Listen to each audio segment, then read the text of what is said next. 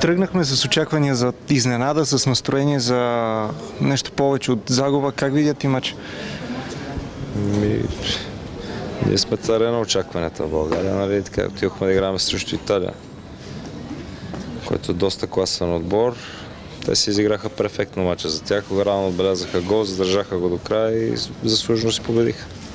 Толкова ли бе голяма разликата между България и Италия? Не. Това е отбор, който те оставя да играеш футбол. Видяхте накрая дали можеха да изгубят и трите точки, но футбол.